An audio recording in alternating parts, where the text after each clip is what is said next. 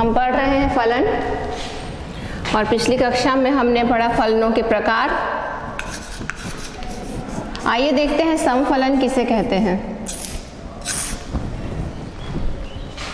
जब किसी फलन y is equal to F X में y x का फलन है, हम लिखते हैं y बराबर एफ़ एक्स में x के स्थान पर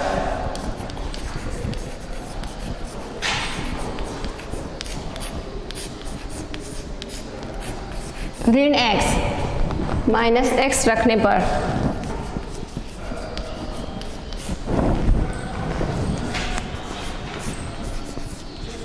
फलन के मान में कोई परिवर्तन ना आए।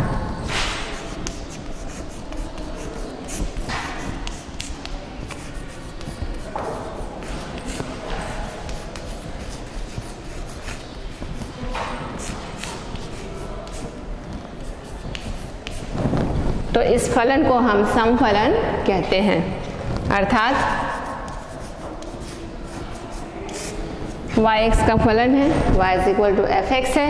x के स्थान पर यदि हम माइनस एक्स रख देते हैं तो भी हमें मूल फलन प्राप्त होता है।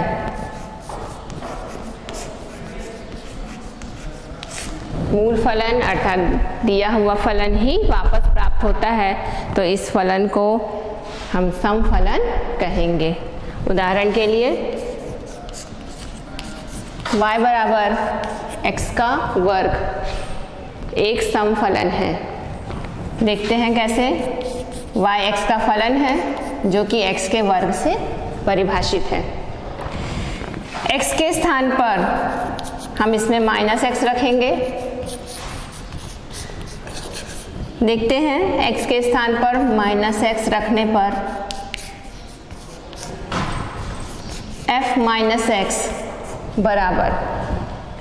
x का वर्ग है तो f माइनस एक्स होगा, माइनस एक्स का वर्ग। और माइनस एक्स का वर्ग, अर्थात माइनस एक्स का दो बार गुणा, और यह फिर से बन जाएगा x का वर्ग, अर्थात मूल फलन। एफ़ एक्स हमें प्राप्त हो जाता है। चूँकि f minus X F X के बराबर है, इसलिए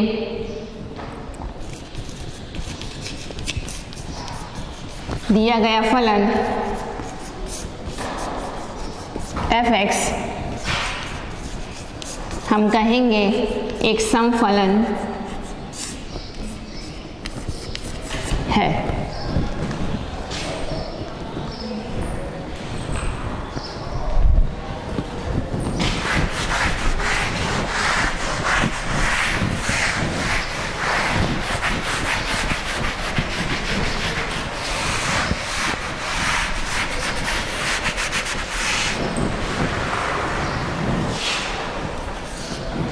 एक और उदाहरण देखते हैं इसी प्रकार y बराबर। है? cos x y x का फलन है, जो cos x से परिभाषित है। तो एफ़ एक्स बराबर है cos x आइए देखते हैं क्या होता है जब हम x के स्थान पर माइनस एक्स रखते हैं।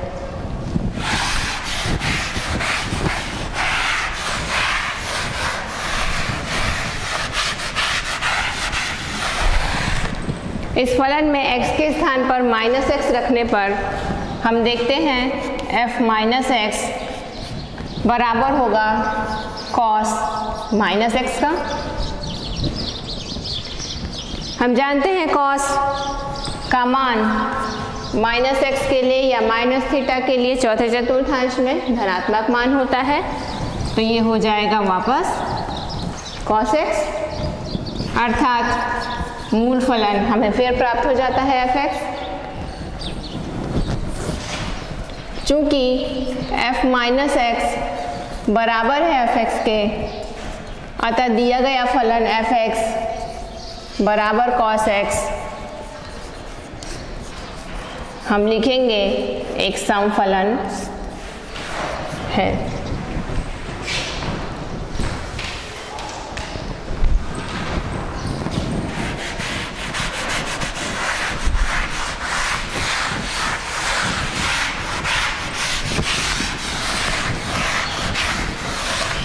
इसके बाद परिभाषित करते हैं विषम फलन को।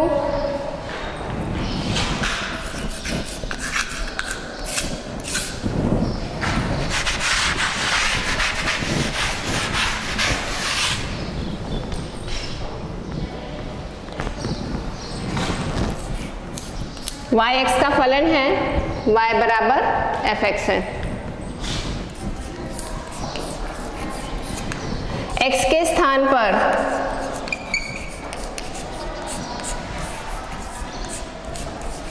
माइनस एक्स रखने पर।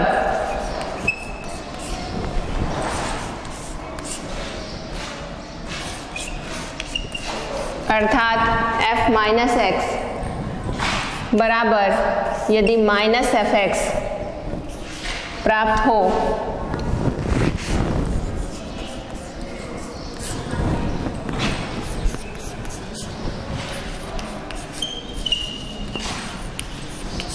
तो फलन एफ़ एक्स।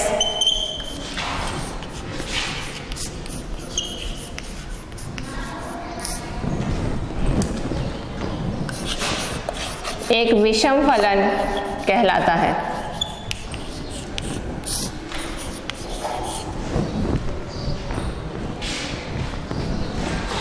उदाहरण के लिए, y यदि x का फलन है जो x क्यूब से यदि परिभाषित है, x की घात तीन से यदि परिभाषित है, इस फलन में x के स्थान पर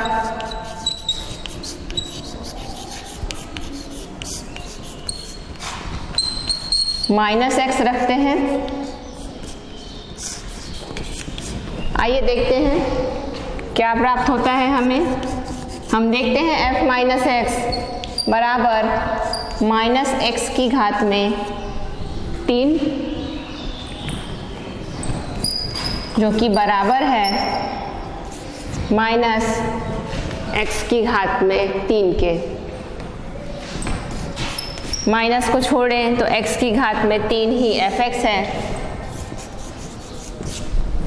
अतः हम देखते हैं कि x के स्थान पर माइनस एक्स रखने पर f माइनस एक्स बराबर माइनस एफ़ एक्स हमें प्राप्त होता है। अतः यह फलन, विषम फलन होगा।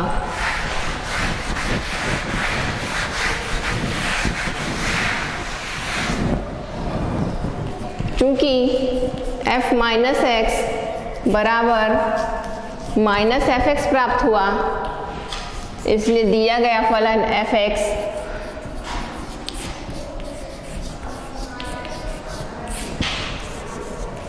एक विषम फलन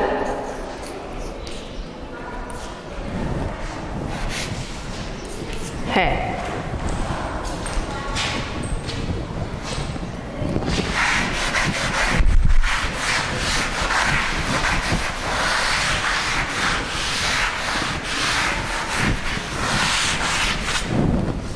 आइए एक और उदाहरण देखते हैं। यदि y x का फलन है, जो एफ़ एक्स बराबर साइन एक्स से परिभाषित है तो साइन एक विषम फलन होता है। देखते हैं x के स्थान पर।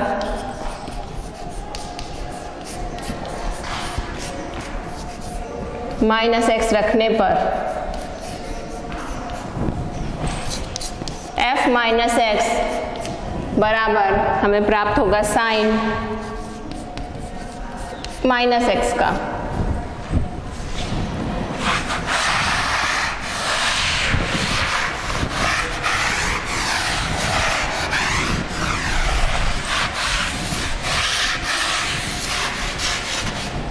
चूँकि माइनस एक्स चौथे चतुर्थांश में होता है चौथे चतुर्थांश में स्थित है और साइन का मान चौथे चतुर्थांश के लिए ऋणात्मक होता है। अतः हमें यह मिल जाता है। Minus sine x. माइनस को छोड़ दें तो साइन एक्स ही हमारा फलन एफ़ एक्स है। अतः हम देखते हैं कि एफ़ माइनस एक्स बराबर हमें माइनस एफ़ एक्स प्राप्त हुआ। और हम कह सकते हैं कि दिया गया फलन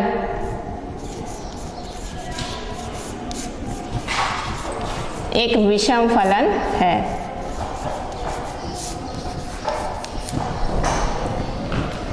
आइए अभ्यास के कुछ प्रश्नों को बनाते हैं।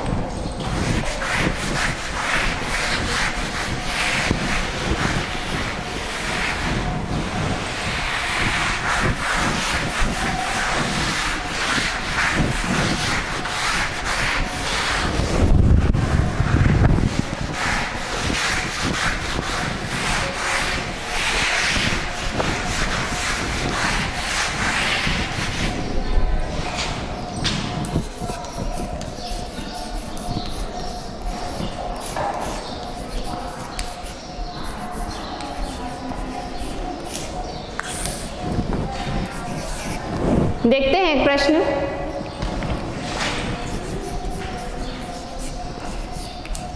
यदि y बराबर वन माइनस कॉस एक्स हो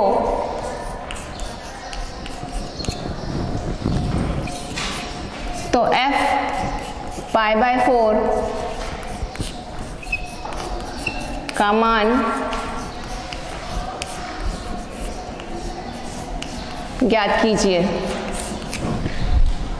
लेते हैं अभ्यास से एक प्रश्न। यदि y बराबर है वन माइनस कॉस एक्स तो हमें f पाई बाय फोर का मान ज्ञात करना है। देखते हैं इसका हल।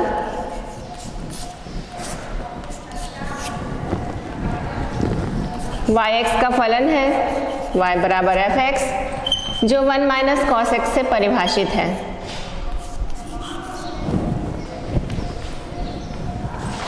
x के स्थान पर एफ़ पाई बाय फोर का मान हमें ज्ञात करना है। तो x के स्थान पर हम पाई बाय फोर रख देंगे। तो x के स्थान पर या x बराबर पाई बाय फोर रखने पर हम देखते हैं f पाई बाय फोर का मान f पाई बाय फोर बराबर वन माइनस कॉस x की जगह फिर हम लिखेंगे pi by four pi by four radian का अर्थ है 45 अंश, और 45 अंश पे हम जानते हैं कॉस का मान होता है एक बटे वर्गमूल दो। तो हम लिख सकते हैं एफ़ पाई बाय फोर का मान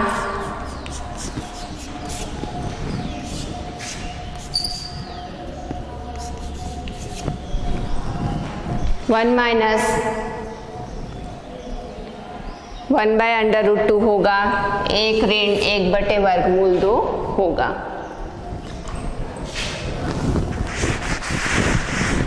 एक और प्रश्न देखते हैं।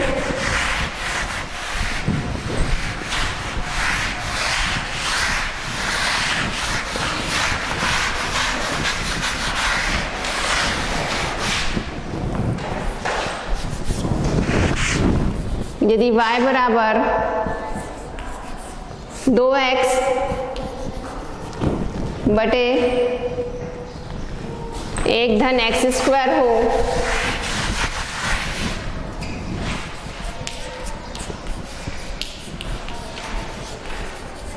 तो सिद्ध करें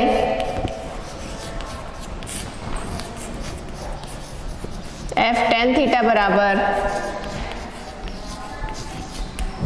साइन टू थीटा होगा। आइए इस प्रश्न को बनाते हैं। वाई एक्स का फलन है, जो कि दो एक्स बटे एक धन एक्स स्क्वायर से परिभाषित है। x बराबर टेन थीटा रखने पर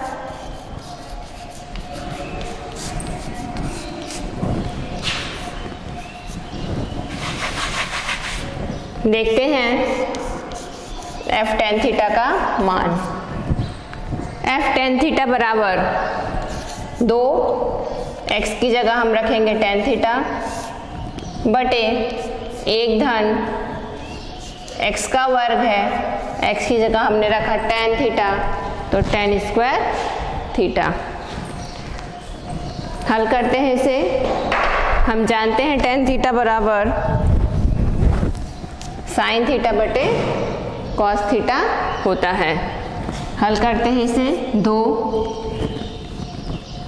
टेन थीटा को तोड़ देते हैं, साइन बटे कॉस के रूप में लिखते हैं।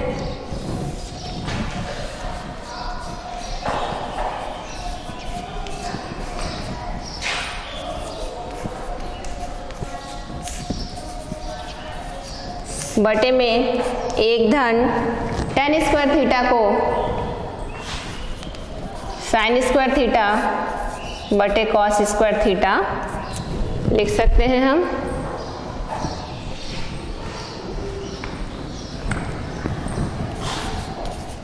दो साइन थीटा बटे कॉस थीटा एक के बटे में एक लिखिए और दो परिमेय संख्याओं के योगफल के रूप में इसे हल करते हैं हम। तो लघुत्तम आ जाता है। Cos square theta cos square का गुणा एक से होगा। कॉस स्क्वायर थीटा धन साइन स्क्वायर थीटा हमें प्राप्त होता है।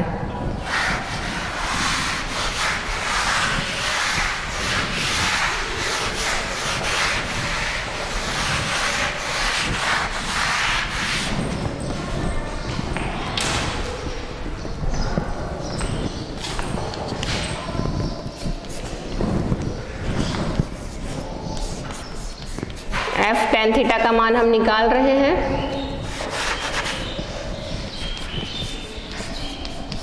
दो साइन थीटा बटे कॉस थीटा हम जानते हैं sine square theta plus cos square theta का मान एक होता है, बटे में कॉस स्क्वायर थीटा जब दो परिमेय संख्याओं का भागफल हो तो हर की परिमेय संख्या पलट जाती है और यह गुणा में बदल जाती है। तो दो साइन थीटा कॉस थीटा और ये जो हर में है, एक बटे कॉस स्क्वायर थीटा यह पलट जाएगा, और आ जाएगा कॉस स्क्वायर थीटा बटा एक। कॉस स्क्वायर थीटा से एक कॉस कॉस से कट जाएगा। तो हमारे पास बचा है दो साइन थीटा और इस कॉस स्क्वायर में से एक। कॉस थीटा और हम जानते हैं दो साइन थीटा कॉस थीटा बराबर होता है साइन का। टू थीटा और यही हमें सिद्ध करना था।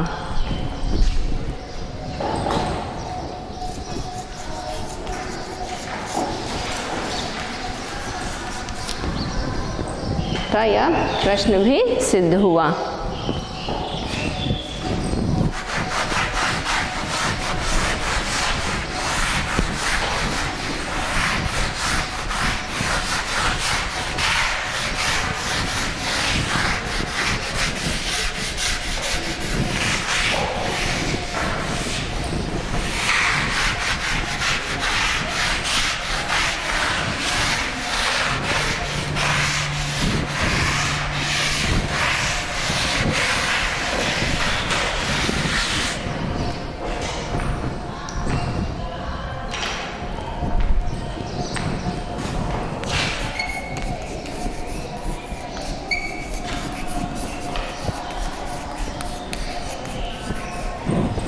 आइए एक और प्रश्न लेते हैं।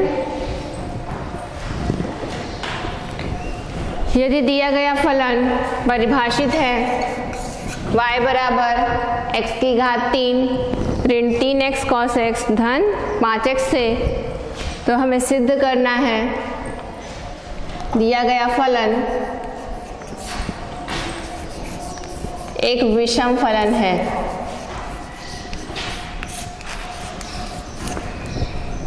फलन,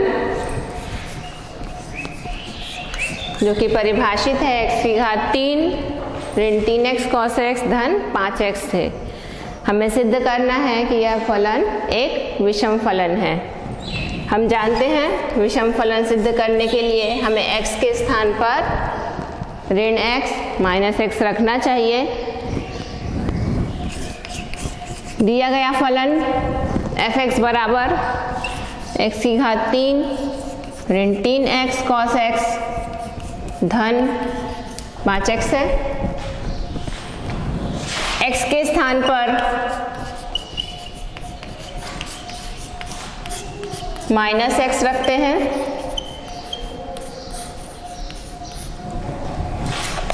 हम देखते हैं f माइनस एक्स का मान क्या प्राप्त होता है।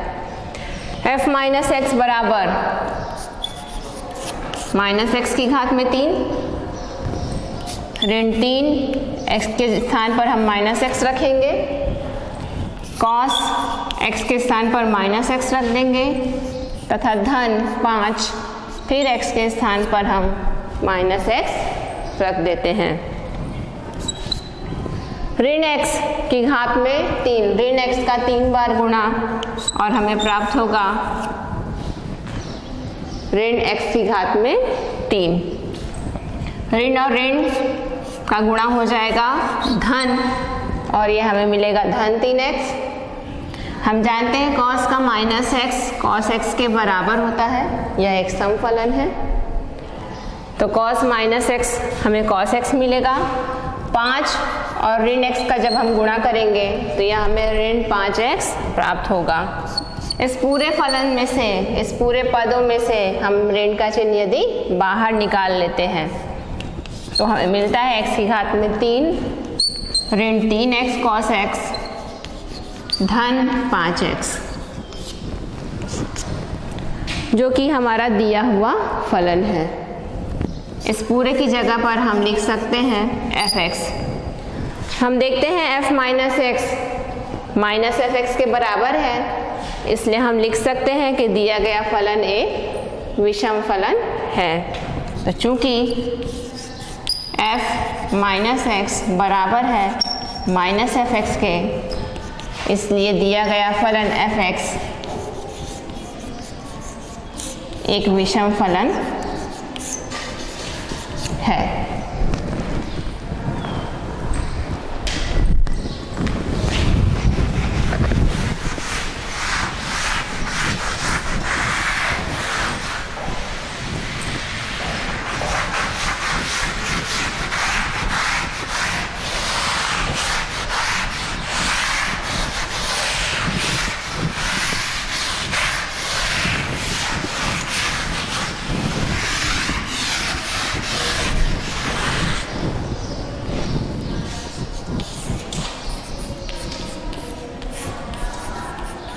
आइए अगला प्रश्न देखते हैं।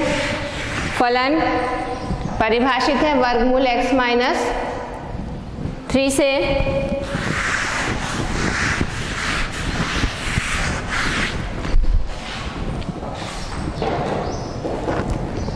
फलन का डोमेन और रेंज ज्ञात कीजिए। इस प्रकार हम ज्ञात करेंगे?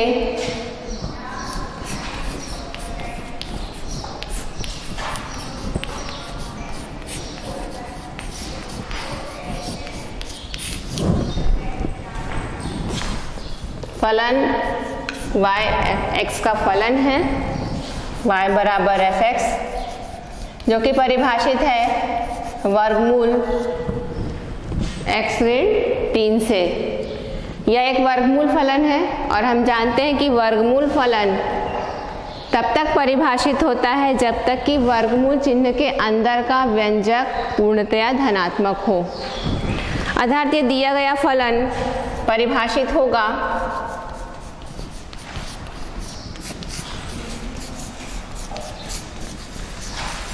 यदि वर्गमूल के अंदर का व्यंजक एक्स ऋण तीन। भैया, मेरे गर्मी लग रही है।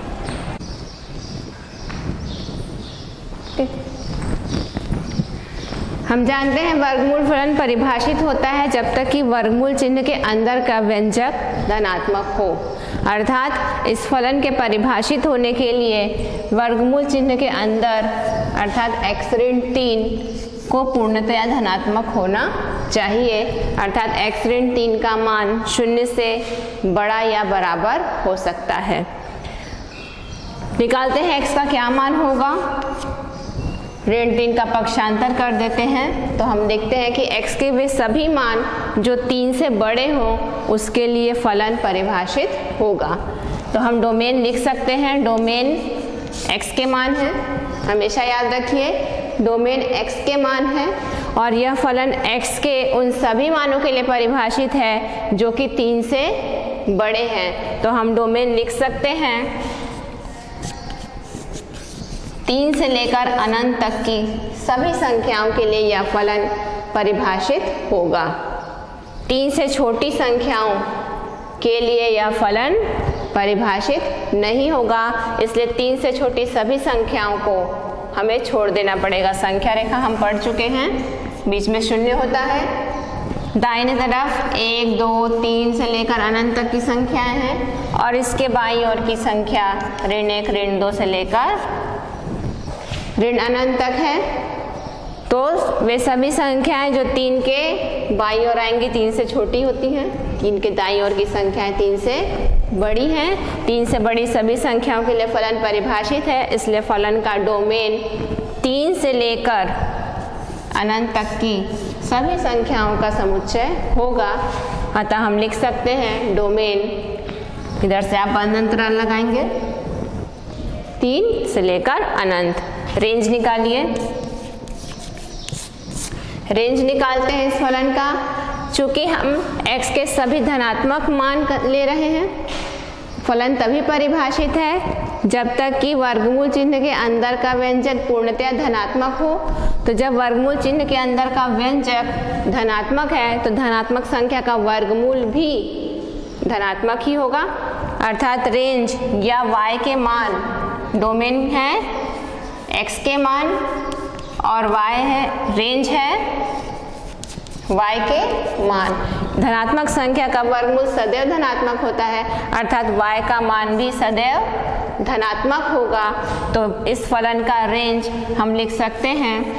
वे सभी वास्तविक संख्याएँ जो कि धनात्मक हैं। तो सभी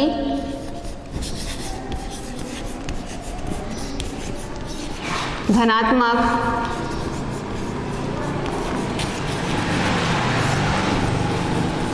वास्तविक संख्याओं का समुच्चय इस फलन का रेंज होगा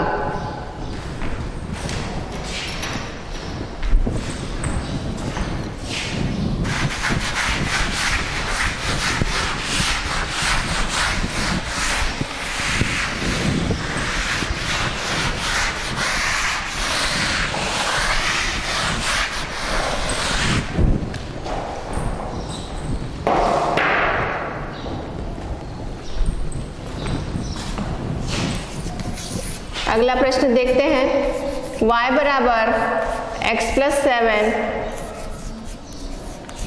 by x minus five. X धन सात, बटे में है एक्स ऋण पाँच। का डोमेन ज्ञात कीजिए।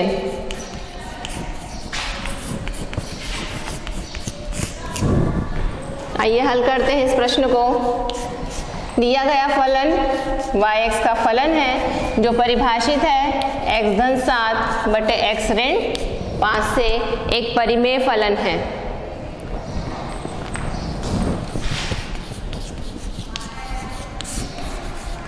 हम जानते हैं परिमेय फलन कब तक परिभाषित होता है। तो एक परिमेय फलन तब तक परिभाषित होता है जब तक कि उसका हर शून्य के बराबर ना हो। इस फलन के परिभाषित होने के लिए x ऋण पाँच को शून्य के बराबर नहीं होना चाहिए। अर्थात फलन परिभाषित होगा जब x ऋण पाँच शून्य के बराबर नहीं होगा। ज्ञात करते हैं हम x का वह मान जिसके लिए x ऋण पाँच शून्य के बराबर है।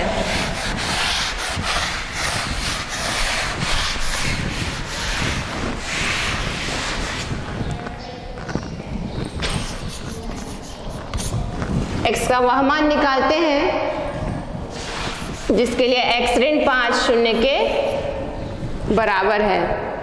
जब x ऋण पाँच शून्य के बराबर है तो हम देखते हैं x का मान हमें पाँच प्राप्त होता है। अर्थात x बराबर पाँच पर दिया गया फलन परिभाषित नहीं होगा। तो सभी वास्तविक संख्याओं के समुच्चय में से हमें x का यह मान छोड़ देना चाहिए। तभी फलन परिभाषित होगा। तो डोमेन एक्स के वे मान हैं जिनके लिए फलन परिभाषित होता है। डोमेन एक्स के वे सभी मान हैं जिनके लिए दिया गया फलन परिभाषित हो।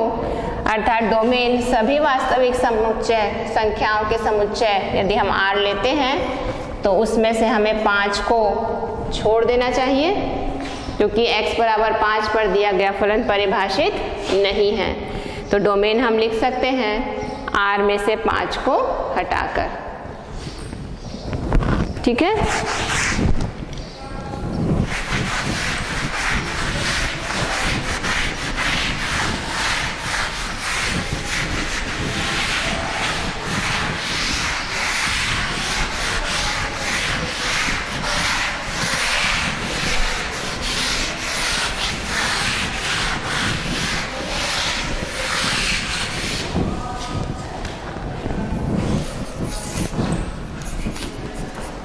आइए देखते हैं y बराबर साइन इनवर्स टू एक्स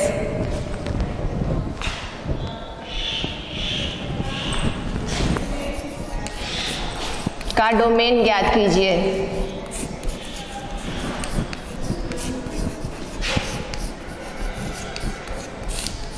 अभ्यास प्रश्नावली का प्रश्न। y बराबर साइन इनवर्स 2x का डोमेन ज्ञात करना है। आइए इसे हल करते हैं। Yx का फलन है, y बराबर एफ़ एक्स जो परिभाषित है साइन इनवर्स टू एक्स से। एक प्रतिलोम त्रिकोणमिति फलन है। प्रतिलोम त्रिकोणमिति फलन y बराबर साइन इनवर्स टू एक्स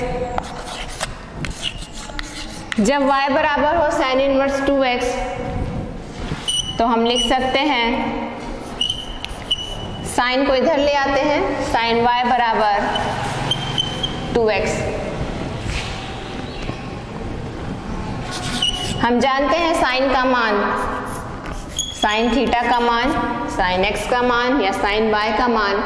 हमेशा ऋण एक से धन एक के बीच में होता है। और चूँकि साइन y बराबर है 2x के, इसलिए 2x का मान भी ऋण एक से धन एक के बीच में होगा। पूरे पदों को, सभी पदों को दो से भाग दे देते हैं। और दो से भाग देने पर हम देखते हैं, ऋण एक बटे दो छोटा या बराबर है x से, और यह छोटा या बराबर है एक बटे दो से। तो हमें x का मान मिल जाता है, ऋण एक बटे दो से धन एक बटे दो के बीच में अतः फलन का डोमेन अंतराल ऋण एक बटे दो से धन एक बटे दो होगा। और यही इसका आप लिखेंगे उत्तर।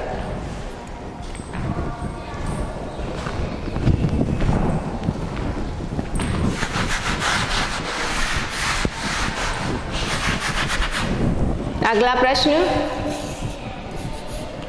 y बराबर पाँच धन, चार कॉसेक्स का रेंज याद कीजिए।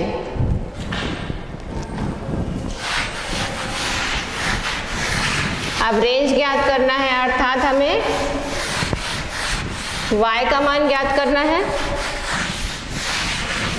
जब डोमेन ज्ञात करना है तो वहाँ हम एक्स के मानों की चर्चा करते हैं। जहाँ रेंज ज्ञात करना है, वहाँ हमें वाई के मानों को देखना है। बनाते हैं इस प्रश्न को।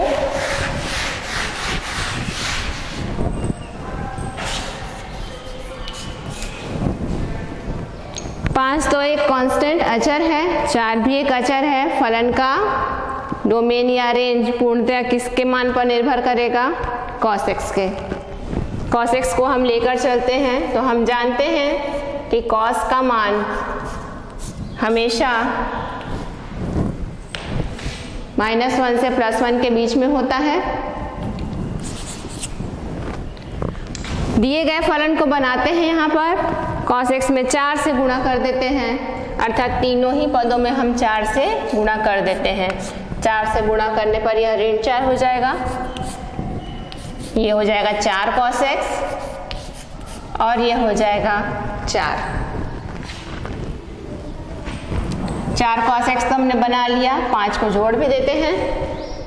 तो चार का गुणा किया भी हमने और अब हम क्या करेंगे? पाँच जोड़ देंगे।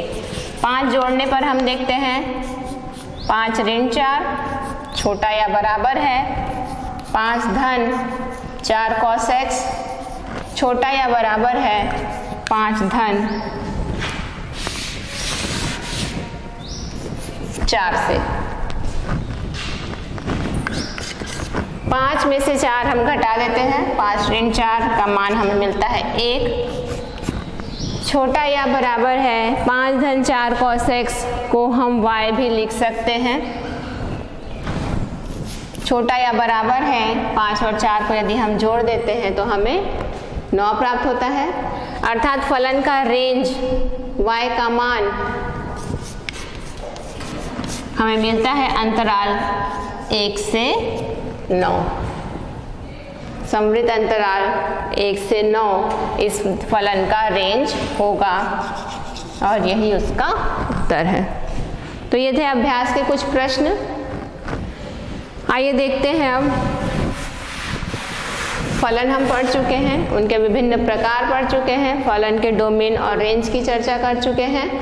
अब इन फलनों के ग्राफ आपको पढ़ने हैं, कैसे हम फलन का ग्राफ खींच सकते हैं।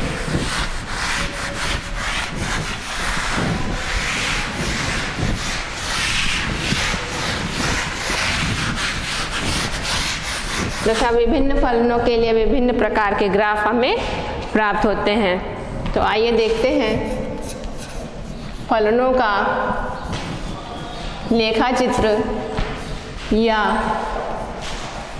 ग्राफ। हम जानते हैं y x का फलन है। हम पढ़ रहे हैं। y का प्रत्येक मान x के मान पर निर्भर करता है। X के विभिन्न मानों के लिए हमको y का अद्वितीय मान मिलता है। X और y के इस संबंध को ही हम फलन से परिभाषित करते हैं। X के सभी मान को यदि हम एक समुच्चय बना लें, कैपिटल X, जो x के सभी मान रखता है तो इसे हम डोमेन कहते हैं। पढ़ चुके हैं हम। यदि कैपिटल Y एक सेट है एक समुच्चय है, जो y के सभी मान रखता है।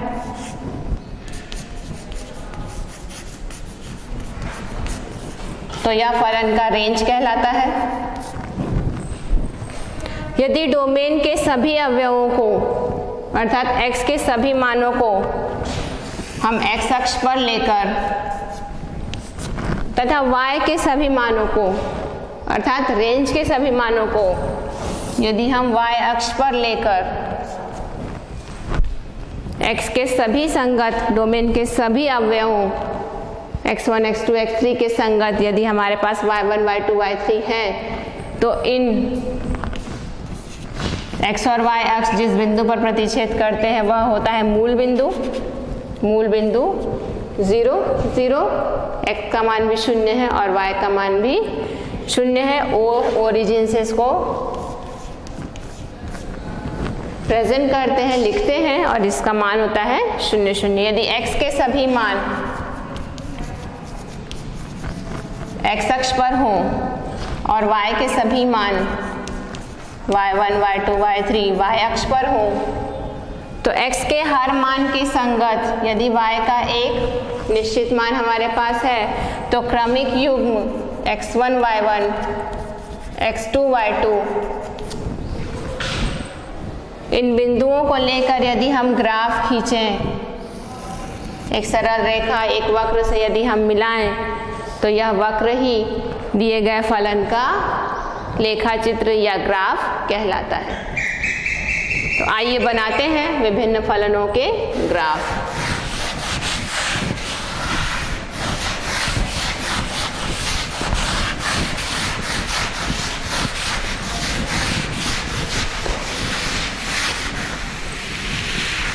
सबसे पहला ग्राफ हम पढ़ते हैं अचर फलन का।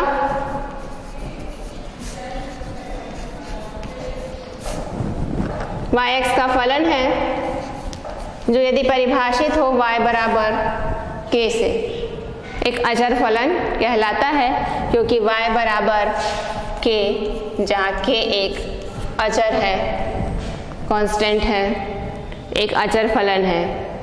हम देखते हैं x के सभी मानों के लिए, वास्तविक संख्याओं के समुच्चय में, x के सभी मानों के लिए y का एक निश्चित मान है और वह है कि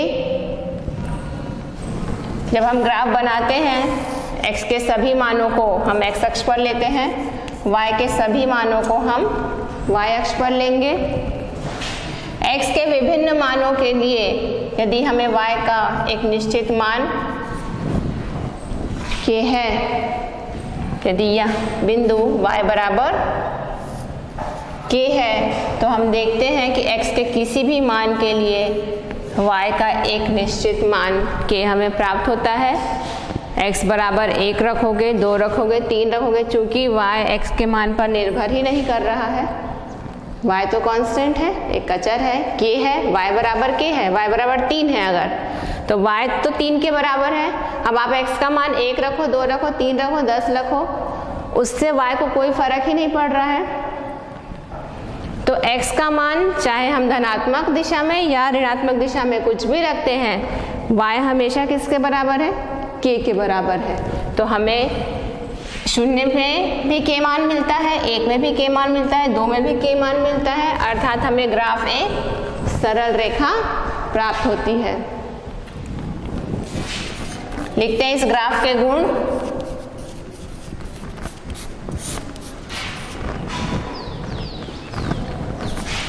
ग्राफ बनाकर उसका अध्ययन कर हमें उसके गुणों की चर्चा करनी चाहिए। तो हम देखते हैं, ग्राफ एक सरल रेखा है।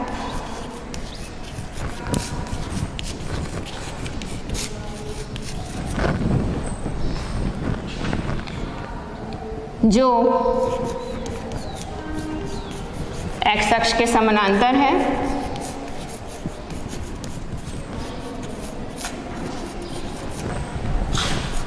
तथा एक्स अक्ष से एक निश्चित दूरी के दूरी पर है।